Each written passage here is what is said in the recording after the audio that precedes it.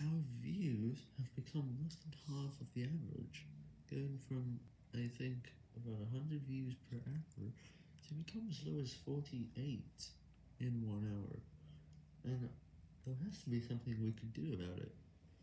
That way, we could remove all the old videos from that playlist and make it easier with just new ones, and only the new videos.